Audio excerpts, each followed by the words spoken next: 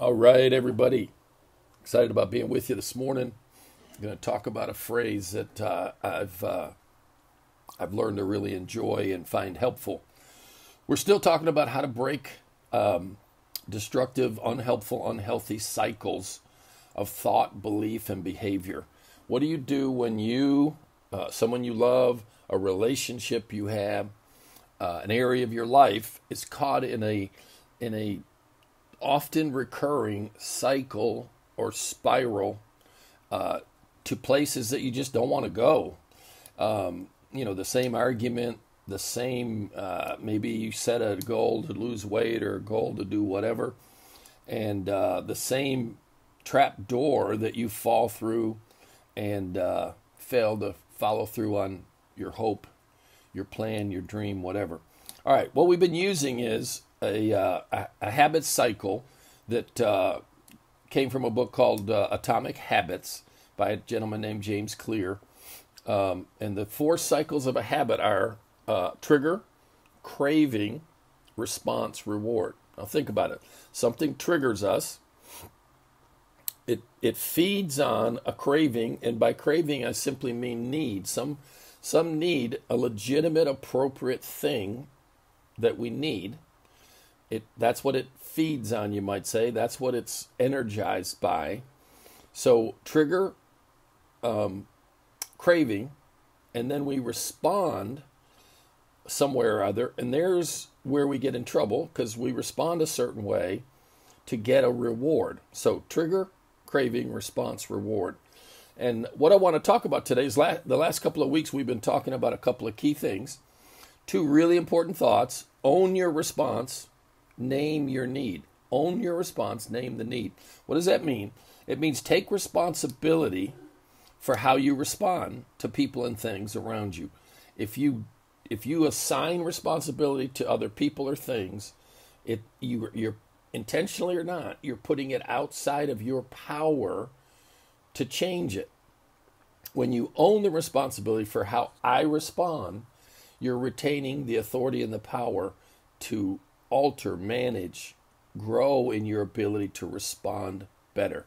All right, let's use a particular uh, pattern that I've seen often, and I mean really often. And uh, and here's a phrase I want you to think about because I want to say it many many times as we go through today. When you attack the fruit, you strengthen the root. When you attack the fruit, you strengthen the root. Dude, what are you talking about? Well, I want you to imagine you're dealing with somebody, uh, whether you're trying to help them or you're caught in a cycle with them. And um, you say, this is the kind of thing you find yourself saying about that person. Man, they're so controlling. They, uh, they, they just have control issues. And we're, we're, we all seem to be pretty comfortable saying, thinking, and describing people as uh, well, that person has control issues, or that's a controlling person. Well, here's the deal trigger, craving, response, reward. The, the tendency to want to control our environment, the people and things around us, to get the uh, response that we want from them is uh, is a it's a response. It's not. In other words, something triggers me awakens a craving, and my response is to be controlling. So here's what I've learned, and it seems that it helps. Let's just maybe you ought to think for a minute. Would anyone describe you as uh, somewhat controlling or somewhat controlling? And um, and it, and let's just put it through this process: trigger, craving, response, reward. All right, let's let me restate. Your or my tendencies to be controlling, uh, whether it's of our children, whether it's of our spouse, whether it's of our parents and friends, whether it's of e- events that involve other people. When we're attempting to be controlling, that's a response to a trigger. All right. If it's a response to a trigger, remember trigger, craving, response, reward. What would be the craving? Remember when you when you see the word craving, that's name the need. So own your response. I'm I'm controlling. I'm choosing to be controlling. Now, here's the interesting thing about that. uh, attack the fruit, strengthen the root. The roots to our behavior are in our subconscious. We most of the patterns we get in trouble uh, over and in with other people have been set in place decades ago. So when when somebody says, "Oh, well, you're controlling," you may literally not be aware you're doing it because it's a pattern you learned years or decades ago to meet a need, to meet a need that you needed then that you need to learn to change and adjust now. All right, let's play with it. So what triggers something triggers you, your response is to micromanage whether it's your children or your husband, your wife, your friends. All right? Trigger craving response. Craving, name the need. What's going on when you feel the need to control? What's missing when you feel the need to control people or things? And again, I'm going to cut to the chase a little bit more than I normally would. Normally, I'd like to kind of reel you in to make you feel your way, think your way to the answer. Um, and if you want to, throw it in the comments. What what would make someone feel the need to be controlling? And my answer would be trust. Meaning I don't trust things to work out the way I think they should unless I help them. So what now again, trigger craving response. What need what need would be driving that? I I'm triggered by something I over respond in a controlling way, what would make me? Uh, somebody put a, a, the, the, answer we're moving toward. Um, Lisa did. Um, here's the deal. I, I have trust issues. Why would I have trust issues? Because maybe earlier in life, at some stage of life, and I and I'm particularly mean childhood, the people who I looked to, relied on, and trusted in to protect me, meet my needs, provide a safe, secure environment, maybe just did not do their job, or didn't do their job well, or didn't do their job consistently. Well, what does that create in me? It creates fear. What's the need behind that particular fear that would lead to my being controlling? A need for safety, a need for a, a, a consistent meeting of my my my needs, love, my physical needs, even right. Uh, I mean, it can even be in homes where you're not even physically taken care of, or you're even harmed. And what happens is, I develop a fear that I will not be safe unless I take care of it myself. So let's let's walk this back through now. What we're talking about is if you attack the fruit you strengthen the root. We started with control. In my opinion, that's the fruit. That's someone's response to a trigger.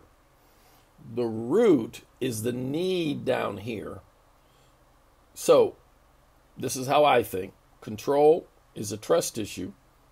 Why would we have a trust issue? Because of fear. Fear of what? Fear of some need or needs not being consistently sufficiently met. So, what happens is I learned that I couldn't trust the people who were supposed to take care of me, who were responsible for taking care of me. So I learned to take care of myself. I, I developed a, and this is where it gets important, a subconscious cycle, response cycle, to where if I feel the least bit threatened, I'm gonna I'm gonna kind of make sure things work out the way I think they should.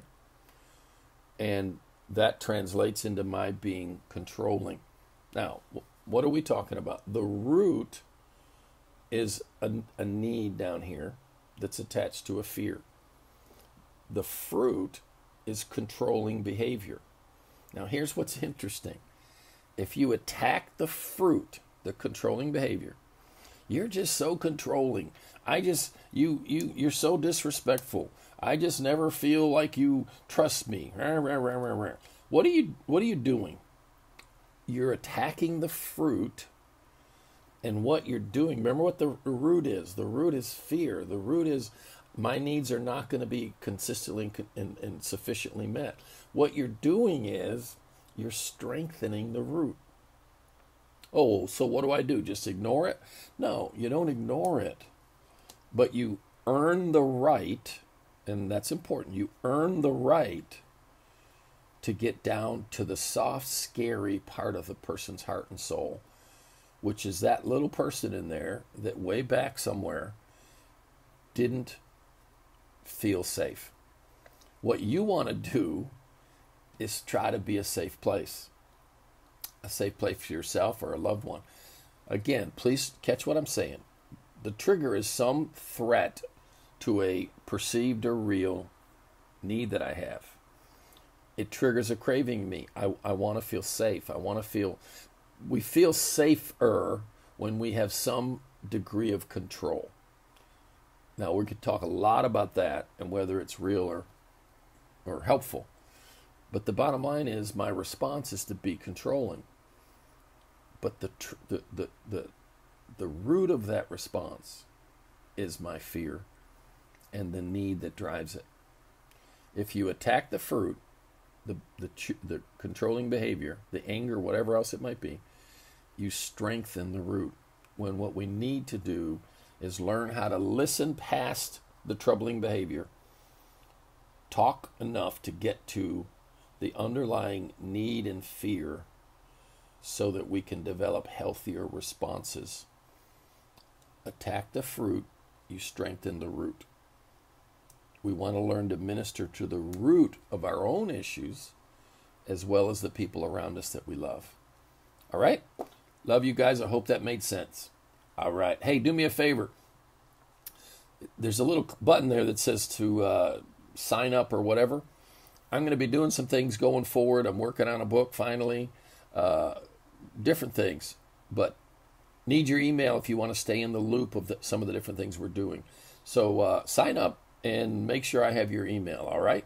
Love you guys.